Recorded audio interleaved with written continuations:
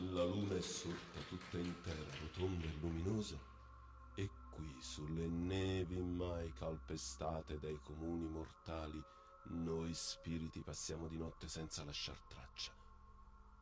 Qui ora aspetto le mie sorelle prima di andare con loro al castello di Arimane, il nostro grande e temibile signore e sovrano dove stasera si farà gran baldoria.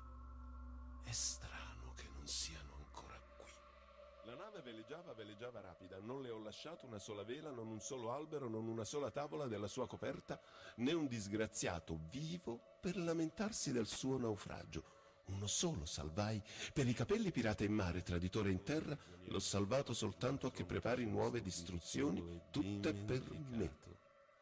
Mi sono insinuato nel suo torpore, ho spezzato le sue catene e gli ho trovato miriadi di alleati. Il tiranno è di nuovo in piedi.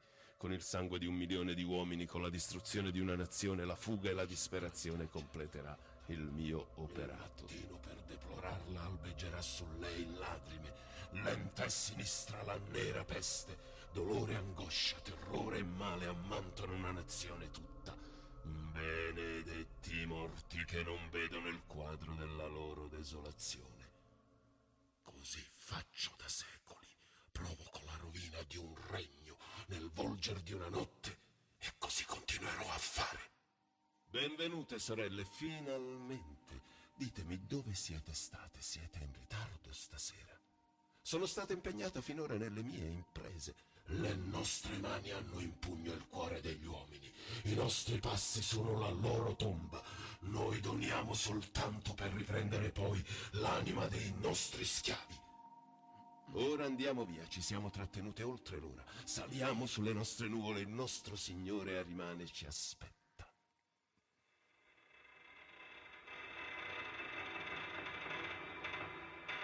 Reggia di Arimane, Arimane sul trono accerchiato da spiriti.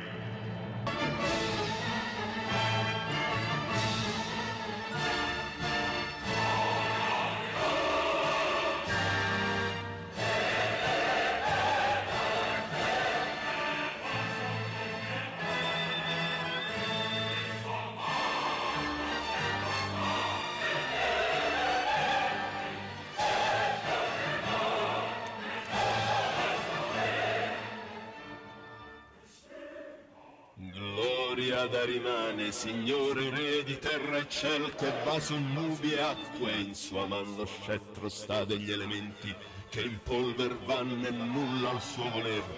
Respira l'onda, solleva il mare, parla, risponde il tuono, risponde al suo comando, il sol s'oscura al suo guardar, ei muove, scuote il mondo, il terremoto, vulcani sorgon dove posa il piede, peste sua ombra, crepitano cubete in cielo al passaggio da rimane, pianeti incenerisce l'ira sua, la guerra offrì di sangue a lui gli altar, la morte gli è, la vita gli appartiene, con l'infinito peso d'agonia, egli è lo spirito di ciò che v'è.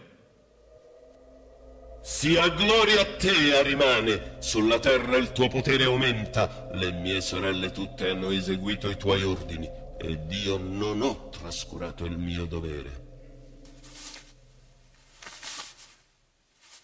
Chi è mai là? Un mortale. Temerario e vile, prostrati e adora, trema e obbedisci. Conosco quel mortale, un mago dai grandi poteri e dall'ingegno straordinario. Inginocchiati in adorazione, schiavo. Non riconosci dunque il tuo e nostro sovrano? Inginocchiati tu e la tua colpevole umanità, sola argilla sei, figlio della terra. Io lo conosco, conosco il vostro signore, e tuttavia, vedete, non mi inchino! Costui mi appartiene.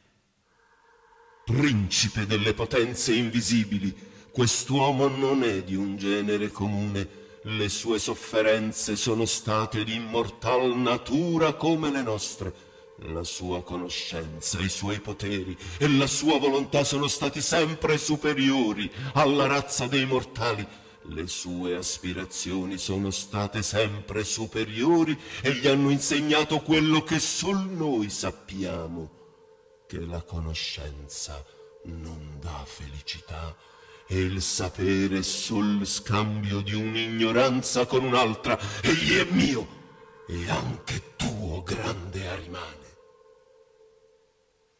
Che vuoi? Tu non mi puoi rispondere. Chi ama i morti, la mia domanda è a loro. Grande animale, la tua volontà consente ai desideri di questo mortale? Sì.